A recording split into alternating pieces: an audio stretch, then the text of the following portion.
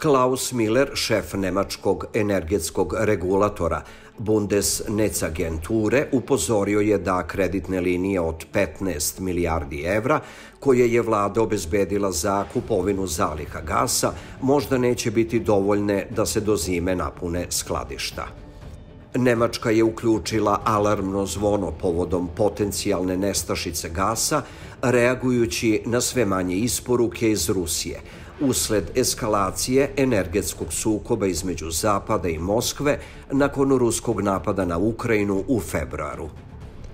Miller je u intervju za magazin Wirtschaftswoche objavljenom danas naveo da bi cene gasa zbog smanjene ponude mogle da porastu u međuvremenu zbog čega bi 15 milijardi evra moglo da bude nedovoljno da se skladišta napune do zime – Nemačka je na saveznom nivou uvela obavezu da se skladišta gasa popune 80% do oktobra i do 90% do novembra.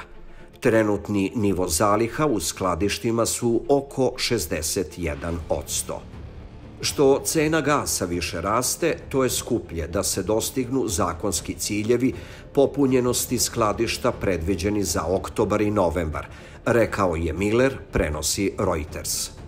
Najveća evropska privreda takođe bi mogla da se suoči sa nestašicom gasa narednih meseci, ukoliko dotok ruskog gasa gasovodom Severni tok 1, koji treba da bude obustavljen u julu radi redovnog održavanja, ne bude nastavljen, dodao je Miller.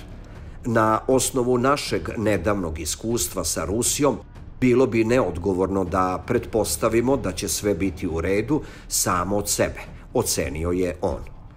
Nemačka je prošlog meseca aktivirala drugu fazu svog trodelnog plana za vanredne situacije s gasom, nakon što je Rusija smanjila isporuke gasovodom Severni tok 1.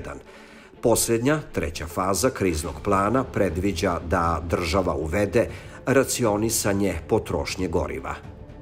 Nemački ministar ekonomije Robert Habeck izjavio je da bi Rusija mogla da nastavi obustavu isporuke gasa severnim tokom 1 i po isteku roka utvrđenog za redovan remont gasovoda.